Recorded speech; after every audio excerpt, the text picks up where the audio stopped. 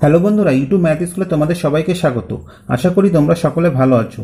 গত ভিডিওতে আমরা ক্লাস টেনের চতুর্থ অধ্যায় আয়তঘন এর কোষে দেখি ফোরের তেইশ দাগ পর্যন্ত অঙ্কগুলি সমাধান করেছিলাম। আজকে আমরা চব্বিশ দাগ থেকে শুরু করব। তা চব্বিশ দাগে আমরা দেখতে পাচ্ছি অতি সংক্ষিপ্ত উত্তরধর্মী প্রশ্ন। চব্বিশের এতে কি আছে? এমসিকিউ অর্থাৎ মাল্টিপল চয়েস কোশ্চেন তা এক দাগে আছে যেটা যে একটি সমকোণী চৌপলাকৃতি বাক্সের ভেতরের আয়তন চারশো চল্লিশ ঘন সেমি এবং ভেতরের ভূমিতলের ক্ষেত্রফল অষ্টাশি বর্গ সেমি। বাক্সটির ভেতরের উচ্চতা কত হবে? এখানে চারটি অপশান দেয়া আছে, আমাদের বেছে বের করতে হবে। ঠিক আছে? তা দেখো বন্ধুরা, আমরা ধরে নিই বাক্সের ভেতরের উচ্চতা এই সেমি। ঠিক আছে? তা আমরা জানি ভূমির ক্ষেত্রফলের সঙ্গে উচ্চতা গুণ করলে আমরা আয়তন পাব। তা দেখো, অষ্টাশি গুণ এইচ সমান কি হবে? বাক্সের ভেতরের আয়তন, সেটি কত বলে দেওয়া আছে? চারশো চল্লিশ ঘন সেমি অতএব এইচ সমান কি হবে? চারশো চল্লিশ বাই অষ্টাশি। অষ্টাশি দিয়ে চারশো চল্লিশকে কাটলে আমরা পাঁচ পাবো। অতএব এইচ সমান কি হবে? পাঁচ সেমি হবে। তাহলে আমাদের অ্যান্সারটা কি হবে? আমাদের অ্যান্সার হবে অপশান বি কেমন? এবার দুদাগের অঙ্কটা লক্ষ্য করো। দুদাগে আমরা দেখতে পাচ্ছি একটি আয়তঘনকার গর্তের দৈর্ঘ্য চল্লিশ মিটার, পোস্ত বারো মিটার এবং গভীরতা ষোলো মিটার। ওই গর্তের মধ্যে পাঁচ মিটার দৈর্ঘ্য, চার মিটার পোস্ত এবং দু মিটার পুরু তক্তা রাখা যাবে কতগুলি সেটি আমাদের বের করতে হবে। তা দেখো বন্ধুরা, আমরা ততগুলি তক্তা রাখতে পারব যে ওই তক্তাগুলির মোট আয়তন এবং গর্তের মোট আয়তন সমান হবে। তাই তো? তাহলে আমরা ধরে নিই যে আমরা এক্সটি তক্তা রাখতে পারব। ঠিক আছে? তা দেখো, একটি তক্তার আয়তন কি হবে? তক্তার দৈর্ঘ্য অর্থাৎ পাঁচ মিটার গুণ তক্তার পোস্ত কত? চার মিটার গুণ তক্তার উচ্চতা কত? দু মিটার। এটি হচ্ছে একটি তক্তার আয়তন। তাহলে এর সাথে আমরা যদি এক্স গুণ দিই, তাহলে আমরা এক্সটি তক্তার আয়তন পেয়ে যাব। এটি কি হবে? গর্তের আয়তনের সমান হবে। অর্থাৎ গর্তের দৈর্ঘ্য হচ্ছে চল্লিশ মিটার গুণ তার সঙ্গে পোস্ত বারো মিটার গুণ গভীরতা ষোলো। অর্থাৎ দৈর্ঘ্য, পোস্ত, উচ্চতা এই তিনটি গুণ করতে হবে। তা দেখো, এখান থেকে আমরা এক সমান কি পাবো? এক সমান পাবো এই চল্লিশ গুণ বারো গুণ ষোলো। এর নিচে চলে যাবে কত? পাঁচ গুণ চার গুণ দুই। কেমন? এবার আমরা কাটাকাটি করব। তা দেখো, পাঁচ দিয়ে চল্লিশ কাটলে আমরা আট পাবো। এবার চার দিয়ে আটকে কাটলে দুই পাবো, এই দুই এই দুই কেটে দিলাম। তাই তো? তাহলে এক সমান কি হচ্ছে দেখো? বারো দিয়ে ষোলোকে গুণ করলে আমরা একশো বিরানব্বইটি পাবো। অতএব তক্তার সংখ্যা কটা হবে? একশো বিরানব্বইটি। তাহলে আমাদের উত্তর কি হলো? Option B. এবার তিন দাগের অঙ্কটি লক্ষ্য করো। তা তিন দাগে আমরা দেখতে পাচ্ছি একটি ঘনকের পাঁচশো তলের ক্ষেত্রফল দুশো ছাপ্পান্ন বর্গমিটার ঘনকটির আয়তন কত হবে? আমাদের বের করতে হবে। তা আমরা জানি বন্ধুরা, ঘনকের পাঁচশো তলের সংখ্যা কটা? চারটি। এবং প্রতিতলের ক্ষেত্রফল কি হয়? বাহু স্কোয়ার। তাই তো? তাহলে চার দিয়ে যদি আমরা বাহু স্কোয়ারকে গুণ করি, তাহলে ঘনকের চার দেওয়ালের ক্ষেত্রফল আমরা পেয়ে যাচ্ছি। এটি সমান কত বলে দেওয়া আছে? দুশো ছাপ্পান্ন বা বাহু স্কোয়ার সমান কি হবে? দুশো ছাপ্পান্নকে চার দিয়ে ভাগ করব। বা বাহু স্কোয়ার দুশো ছাপ্পান্নকে চার দিয়ে ভাগ করলে কত হবে? চৌষট্টি হবে। অতএব বাহু সমান কি বের হবে? এই চৌষট্টির বর্গমূল চৌষট্টির বর্গমূল কত হয়? আট হয়। অর্থাৎ বন্ধুরা, ঘনকের একটি বাহুর দৈর্ঘ্য কত বের হলো? আট মিটার বের হলো। তাহলে ঘনকের আমরা একটি বাহুর দৈর্ঘ্য পেয়ে গেছি। অতএব আয়তন কি হবে? আয়তন হবে বাহু কিউ তাই তো? তাহলে আট কিউ হবে। আর আমাদের এককটা হবে কি? ঘনমিটার তা আটের কিউ করলে আমরা কত পাবো? পাঁচশো বারো ঘনমিটার তাহলে আমাদের উত্তর কোনটা হবে? অপশান ডি কেমন? এবার বন্ধুরা, চার দাগের অঙ্কটা লক্ষ্য করো। চার দাগে কি বলছে? যে দুটি ঘনকের আয়তনের অনুপাত one is two twenty seven হলে ঘনক দুটি সমগ্র তলের ক্ষেত্রফলের অনুপাত কি হবে? আমাদের বের করতে হবে। তা আমরা ধরি যে একটি ঘনকের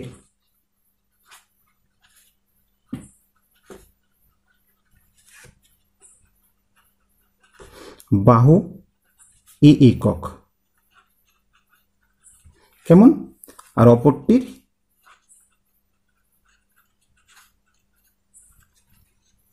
বি একক। ঠিক আছে, তাহলে দেখো, যে ঘনকের বাহুর দৈর্ঘ্য এ একক, তার আয়তন কি হবে? এ কিউ, এবং যার বাহুর দৈর্ঘ্য বি একক, তার আয়তন কি হবে? B cube. তা এই দুটি আয়তনের অনুপাত কত বলে দেওয়া আছে? One is two twenty seven তো এখান থেকে আমরা কি পাচ্ছি? দেখো, বা a cube by b cube সমান এক বাই সাতাশ। বা এ বাই বি কি হবে? এই দুটোর ঘনমূল, তা একের ঘনমূল এক হয় আর সাতাশের ঘনমূল কত হবে? তিন হবে। ঠিক আছে? এটি আমরা পেলাম। তা আমাদের ঘনক দুটি সমগ্র তলের ক্ষেত্রফলের অনুপাত বের করতে বলেছে। তা দেখো, যার বাহুর দৈর্ঘ্য এ তার সমগ্র তলের ক্ষেত্রফল কি হবে? সিক্স এ স্কোয়ার অর্থাৎ ছয় গুণ বাহু স্কোয়ার এটি ঘনকের সমগ্র তলের ক্ষেত্রফল। আর এই ক্ষেত্রে সমগ্র তলের ক্ষেত্রফল কি হবে? সিক্স বি স্কোয়ার এই দুটির অনুপাত আমাদের বের করতে হবে। তাহলে দেখো six a square by six b square ছয় ছয় আমরা কেটে দিলাম। তাহলে আমরা কি পাচ্ছি? A by b whole square তা দেখো এ বাই বি এর মান কত ছিল? একের তিন।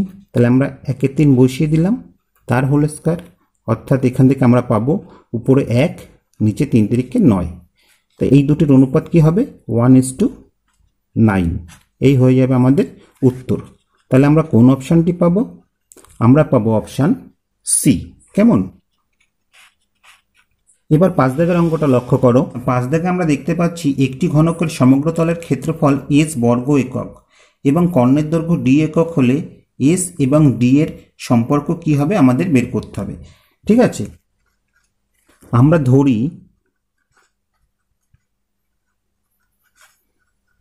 ঘনকের একটি বাহু এ একক। ঠিক আছে? তাহলে ঘনকের সমগ্র তলের ক্ষেত্রফল কি হবে? সিক্স এ স্কোয়ার এটি সমান কি বলে দেওয়া আছে? এস বলে দেওয়া আছে। আর ঘনকের কর্ণের দৈর্ঘ্য আমরা কি জানি? রুট থ্রি ইন্টু বাহু। তাই এখানে বাহু কি? এ এটি সমান কি বলে দেওয়া আছে? ডি বলে দেওয়া আছে। তাহলে দেখো, এখান থেকে এ সমান আমরা কি পাচ্ছি? ডি বাই রুট থ্রি এখান থেকে আমরা পেলাম। তা এই এর মান আমরা এই জায়গাটা এবার বসিয়ে দেব। ঠিক আছে? তাহলে দেখো six into d by root three whole square সমান এস তাহলে এখান থেকে আমরা পাচ্ছি বা six into d square by root থ্রিকে square করলে আমরা থ্রি পাবো সমান এস এখান থেকে যদি আমরা তিন দিয়ে ছয় কাটি, তাহলে দুই পেলাম। বা টু ডি স্কোয়ার সমান এস আমাদের বের হলো। তাহলে দেখো, এখানে আমরা দেখতে পাচ্ছি ডি স্কোয়ার সমান এস বাই টু ঠিক আছে? তাহলে আমাদের উত্তর কোনটা হলো? আমরা পেলাম অপশান ডি কেমন? তারপরে দেখো বিদাগে যেটা আছে, সেগুলো হচ্ছে বিবৃতিগুলি সত্য না মিথ্যা আমাদের লিখতে হবে। তা এক দাগে আমরা কি দেখতে পাচ্ছি?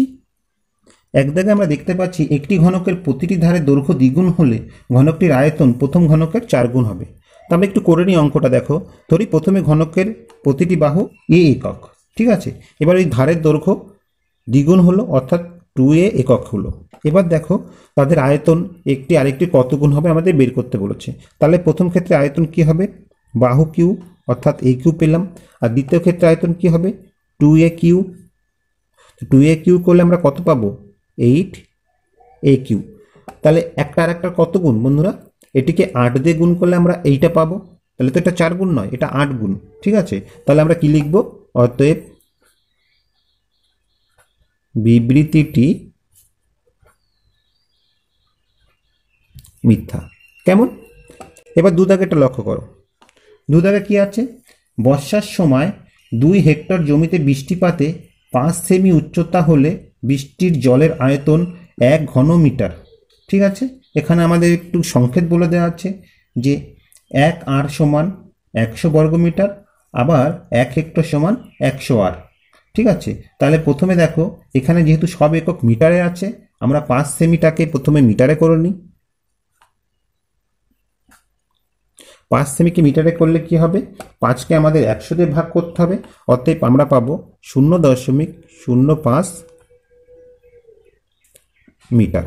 এবার জমি দেখো টু হেক্টর এই টু হেক্টরকেও আমাদের মিটারে নিয়ে আসতে হবে। তা টু হেক্টর সমান কি হবে? দেখো। এক হেক্টর সমান কত? একশো আর। ঠিক আছে? আবার দেখো, এক আর সমান একশো বর্গমিটার তাহলে এই আটটাকে বর্গমিটারে করতে গেলে আমাদের আবার একশো দিয়ে গুণ করতে হবে। তা এইটি হচ্ছে এক হেক্টরের জমির ক্ষেত্রফল। তা জমি কত ছিল? টু হেক্টর তাহলে এটাকে আবার দুইতে গুণ করতে হবে। অর্থাৎ আমরা পাবো দুইয়ের পরে কটা? একটা, দুটো, তিনটে, চারটে। চারটে শূন্য অর্থাৎ কুড়ি হাজার বর্গমিটার। ঠিক আছে? তবে বন্ধুরা, জলের আয়তন কি হবে? জলের আয়তন হবে এই ভূমির ক্ষেত্রফলের সঙ্গে উচ্চতা গুণ করলে আমরা আয়তন পাবো। তা দেখো। কুড়ি হাজার বর্গমিটার ছিল ভূমির ক্ষেত্রফল। তার সাথে উচ্চতা কত পেয়েছি আমরা? শূন্য দশমিক শূন্য পাঁচ তাহলে দেখো, এবার গুণ করলে আমরা কত পাচ্ছি? দশমিক যদি আমরা তুলে দিই, নিচে আমরা একশো পাবো, শূন্য শূন্য শূন্য শূন্য কেটে দিলাম। অর্থাৎ দুশোকে পাঁচ দিয়ে গুণ করলে আমরা হাজার ঘনমিটার পাবো। ঠিক আছে? তাহলে আমরা দেখতে পাচ্ছি এই বিবৃতিটি কি? সত্য। অতএব লিখব কি? বিবৃতিটি সত্য। কেমন? এবার সি দাগে লক্ষ্য করো। সি দাগে আছে শূন্যস্থান পূরণ করি। তা এক দাগে দেখো। বলছে একটি সমকোণী চৌপালের কর্ণের সংখ্যা ড্যাশটি তা আমরা আগেই আলোচনা করেছি যে সমকোণী চৌপালের কর্ণের সংখ্যা হচ্ছে চারটি, ঠিক আছে? এবার দু দাগে দেখো কি আছে। একটি ঘনকের একটি তলের কর্ণের দৈর্ঘ্য কি হবে? তা একটি ঘনকের একটি তলের কর্ণ দৈর্ঘ্য হবে রুট টু ইন্টু একটি ধারের দৈর্ঘ্য, ঠিক আছে? একটি ধারের দৈর্ঘ্য। অর্থাৎ শূন্যস্থানে আমাদের কি বসাতে হবে? রুট টু বসাতে হবে, ঠিক আছে? এবার তিন দাগে দেখো। তিন দাগে বলছে, সমকোণী চৌপালের দৈর্ঘ্য পোস্ত উচ্চতা সমান হলে সেই ঘনবস্তুটির বিশেষ নাম কি? তাহলে সেই ঘনবস্তুটির বিশেষ নাম হচ্ছে ঘনক। এবার পঁচিশ দাগের অঙ্কগুলি দেখো। তা পঁচিশের একে কি আছে? একটি আয়তঘনের তল সংখ্যা এক্স ধার সংখ্যা ওয়াই শীর্ষবিন্দু সংখ্যা জেড এবং কর্ণের সংখ্যা পি হলে x minus y plus z plus p এর মান কত হবে? তা দেখো বন্ধুরা, এখানে তল সংখ্যা কত? এক্স তা সেটি সমান কত হয় আমরা জানি যে একটি আয়তঘনের ছটি তল থাকে, তাই তো? তারপরে দেখো, ধার সংখ্যা কি বলেছে? ওয়াই। তা একটি আয়তঘনের কটা ধার? বারোটি ধার থাকে। শীর্ষবিন্দু কতগুলি থাকে? শীর্ষবিন্দু জেড সমান আটটি হবে, তাই তো? তারপরে দেখো, কর্ণের সংখ্যা। কর্ণের সংখ্যা পি সমান কি হবে? চারটি হবে। এগুলি আমরা জানি, আমরা আগেই আলোচনা করেছি। তাহলে দেখো এবার কি চেয়েছে? X minus y plus z plus p এর মান জানতে চেয়েছে। তাহলে মানগুলি আমরা বসিয়ে দিই। তো এক্সের মান কত? ছয় বিয়োগ ওয়ের মান বারো যোগ জেডের মান আট যোগ পির মান কত? চার। তাহলে আমরা কত পাচ্ছি দেখো? যোগ করে নিই। ছয় আর আটে চোদ্দ চোদ্দ আর চার আঠেরো বিয়োগ বারো, অর্থাৎ আমরা পাবো ছয়। ঠিক আছে? এই আমাদের উত্তর বেরিয়ে গেল। তো দুদাগে কি বলেছে? দুটি আয়তঘনের মাত্রাগুলির দৈর্ঘ্য যথাক্রমে চার, ছয়, চার একক এবং আট, টু এইচ মাইনাস ওয়ান, দুই একক। যদি আয়তঘন দুটির ঘনফল সমান হয় তাহলে এইচের মান লিখি। ঠিক আছে? তা দেখো বন্ধুরা, আয়তঘনের আয়তন বের করতে গেলে আমাদের কি করতে হয়? দৈর্ঘ্য প্রস্থ উচ্চতা গুণ করতে হবে। তাহলে দেখো দ্বিতীয়টির আয়তন কি হবে? আট গুণ টু এইচ মাইনাস ওয়ান গুণ দুই। ঠিক আছে?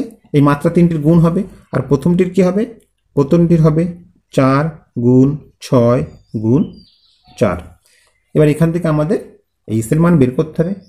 বা আমরা টু এইচ মাইনাস ওয়ানটাকে এই রেখে দেবো, আর বাদ বাকিগুলোকে আমরা ওপাশে নিয়ে যাব। তাহলে আমরা কি পাচ্ছি? টু এইচ মাইনাস ওয়ান সমান চার গুণ ছয় গুণ চার। এর নিচে চলে আসবে কি? আট গুণ দুই চলে আসবে, তাই তো? এখানে আমরা একটু কাটাকাটি করে নিই। তা দেখো, চার দিয়ে আটকে কাটলে দুই পাবো। দুই দিয়ে চারকে কাটলে দুই হবে, এর এই দুই এই দুই কেটে গেল। তাহলে আমরা কি পেলাম? বা টু এইচ মাইনাস ওয়ান সমান ছয়। ঠিক আছে? বা টু এইচ সমান ছয়। আর এক উপাসে গেলে কি হয়ে যাবে? প্লাস হয়ে যাবে। বা এইচ সমান কি হবে? ছয়ের একে সাত। আর নিচে দুই চলে আসবে। এত একক। তাহলে দেখো, এই সাতকে যদি আমরা দুই দিয়ে ভাগ করি, অতএব এই সমান আমরা কি পাবো? তিন দশমিক পাঁচ একক। এই হয়ে যাবে আমাদের উত্তর, ঠিক আছে? এবার পরের অঙ্কটি লক্ষ্য করো। একটি ঘনকের প্রত্যেকটি ধারের দৈর্ঘ্য পঞ্চাশ পার্সেন্ট বৃদ্ধি পেলে ঘনকটির সমগ্র তলের ক্ষেত্রফল শতকরা কত বৃদ্ধি হবে হিসাব করে লিখি। তো অঙ্কটি খুব ইম্পর্টেন্ট অঙ্ক। তোমরা লক্ষ্য করো। দেখো কীভাবে আমরা সমাধান করছি। তো ধরি, ঘনকের ধারের দৈর্ঘ্য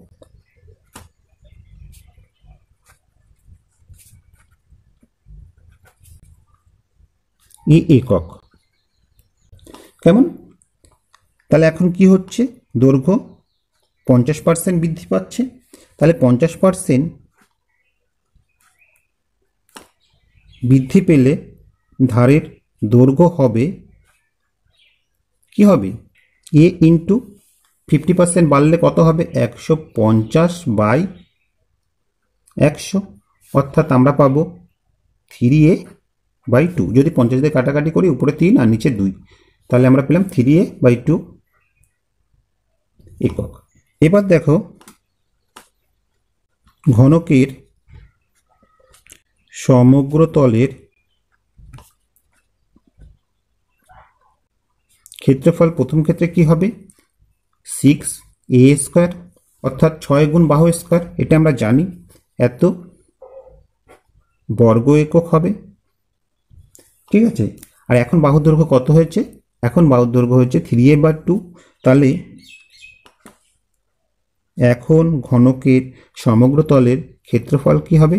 Six into three a by two whole square এত বর্গ একক। তা এটি ভাঙালে আমরা কি পাচ্ছি দেখো? ছয় গুণ থ্রি একে স্কোয়ার করলে আমরা পাবো তিন ত্রিককে নয় স্কোয়ার আর নিচে আমরা কি পাবো? দুইয়ের স্কোয়ার করলে দুই দুগুণে চার। ঠিক আছে? তা আমরা যদি দুই দিয়ে কাটি, তাহলে এখানে দুই পাচ্ছি, এটা এখানে তিন পাচ্ছি। অর্থাৎ আমরা পাচ্ছি তিন নং সাতাশ বাই দুই এ স্কোয়ার এত বর্গ একক আমরা পেলাম। তা দেখো, সাতাশকে দুই দিয়ে ভাগ করলে আমরা কত পাবো? আমরা পাবো তেরো দশমিক পাঁচ এ স্কোয়ার বর্গ একক। ঠিক আছে? তাহলে প্রথমে কত ছিল? ছয় এ স্কোয়ার বর্গ একক। এখন হয়েছে তেরো দশমিক পাঁচ এ স্কোয়ার বর্গ একক। তাহলে কত বৃদ্ধি পেল? বৃদ্ধি পেল, দেখো, তেরো দশমিক পাঁচ এ স্কোয়ার বিয়োগ ছয় এ স্কোয়ার। এত বর্গ একক। তা বিয়োগ করলে আমরা কত পাবো? আমরা পাবো সাত দশমিক পাঁচ এ স্কোয়ার বর্গ একক। কেমন? তাহলে দেখো শতকরা কত বৃদ্ধি হলো? শতকরা বৃদ্ধি পেল কত বেড়েছে? সাত দশমিক পাঁচ এ স্কোয়ার বৃদ্ধি পেয়েছে কততে? Six a. স্কোয়ারে এটিকে এবার আমরা একশো দিয়ে গুণ করে দেবো। তা দেখো এ স্কোয়ার এ স্কোয়ার কেটে দিলাম। দশমিকটা তুলে দিলে আমরা কী পাবো? নিচে দশ পাবো, তাই তো? এই শূন্য এই শূন্য কেটে দিচ্ছি। তা দুই দিয়ে কাটলে আমরা এখানে তিন পাচ্ছি, আর দুই দিয়ে কাটলে এখানে আমরা পাঁচ পাচ্ছি। তিন দিয়ে পঁচাত্তর কাটলে আমরা পঁচিশ পাবো, অর্থাৎ পাঁচ পঁচিশ, একশো পঁচিশ। অতএব শতকরা কত বৃদ্ধি পেল? একশো পঁচিশ ভাগ বৃদ্ধি পেল। এই হয়ে গেল আমাদের উত্তর। তো এবার চার দাগের অঙ্কটি লক্ষ্য করো। তিনটি নিরেট ঘনক, যাদের প্রত্যেক ধারের দৈর্ঘ্য যথাক্রমে তিন সেমি, চার সেমি এবং পাঁচ সেমি।